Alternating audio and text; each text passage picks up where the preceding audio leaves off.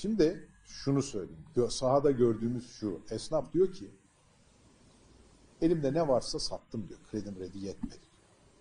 Hanımın altınlarını da sattım diyor. Ayakta durmaya çalışıyorum. Bir kere daha kapanırsak ben bittim.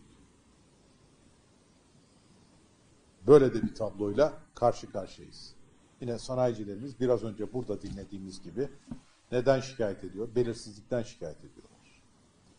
İki, istedikleri gibi iş gücünü yani talep ettikleri gibi iş gücünü bulamamaktan şikayet ediyorlar. Aslında Türkiye'nin tabii kendi şeyinden baktığınız zaman çok büyük imkanları var. Biraz önce siz bizim sanayicimiz çok iyi dediniz. Bizim sanayicimiz çok çok iyi. Bir kere bizim girişimcimiz dünyanın her yerinde iş yapabilen bir girişimci. Bu kadar dinamik. Yetmez. Yeterli desteği, doğru desteği, doğru ilacı verdiğiniz andan itibaren yapamayacağı hiçbir şey yok. Ben bunu gördüm. Peki bir soru. Bugün dünyada çeşitli ülkelere bakın. Coğrafi konumu çerçevesinde dünyada dünyanın en büyük pazarlarına en kısa sürede ulaşma avantajı olan ülke hangisi? E biziz. E bunu kullanamazsak yazıklar olsun bize. Bir kere Avrupa Birliği ile bizim ticaretimizin büyük kısmı olacak. O zaman Avrupa Birliği'nin yeşil mutabakatına uyum sağlayacağız.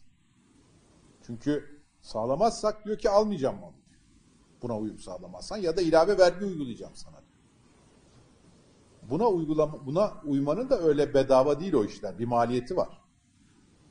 Devlet buna buna bir karşılık ayırması lazım. Bu öyle sadece krediyle olacak iş değil. Yeşil kredi var, şu var, bu var ama buna ciddi bir teşvik verilmesi lazım, destek verilmesi lazım. Şimdi bu tür, bugün ülkemizi bu buhrandan çıkartmak için birinci ihtiyacımız güvendir.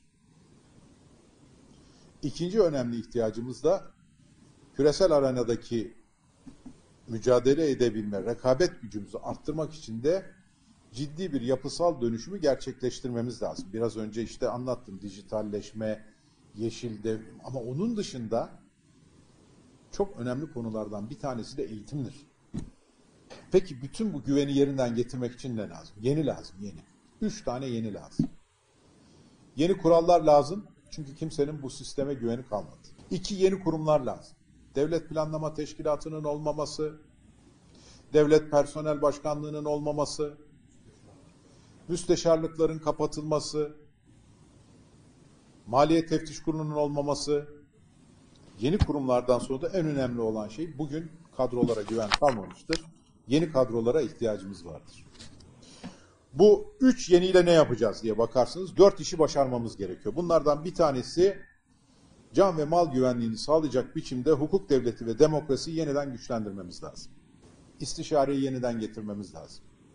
İki, tarafsız cumhurbaşkanı olması lazım. Bugün bu ülkenin en önemli açığı tarafsız cumhurbaşkanı açığıdır. Olsaydı farklı uzlaşmalar sağlanırdı. Yine kuvvet ba- yargının bağımsız olması lazım. Seçim yasalarının kural olarak değişmesi lazım. Milletin vekilini milletin seçmesi lazım.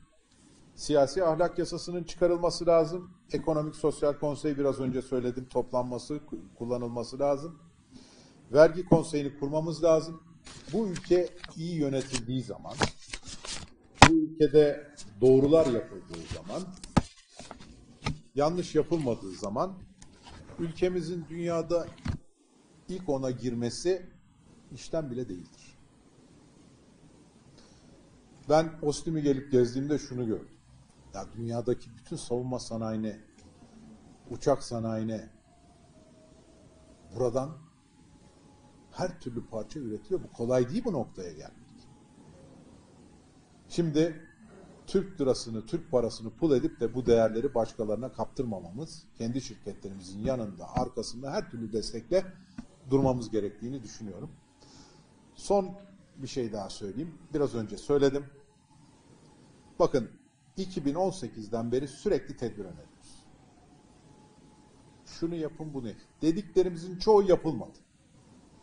Yapılanların işte bir kısmına da baktığınız zaman bunlar da büyük ölçüde e, hep seçimler yaklaştığında belli kesimlerin oylarını alabilmek şeyiyle yapıldı. Asgari ücreti yükselt dedik, seçim zamanı yükselttiler. Emeklilere ikramiye ver dedik, seçim zamanı ikramiye verdiler.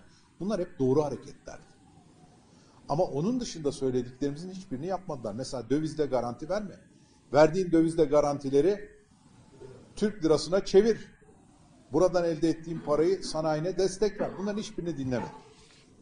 Şimdi bugün geldiğimiz yerde artık ne bu yönetime ne de bu yönetimin kadrolarına güven kalmamıştır. Onun için biz teknik olarak şunu söylüyoruz. Artık yapılması gereken seçimdir. Seçim bu tür ekonomik krizlerde krizi daha ağırlaştırır derler.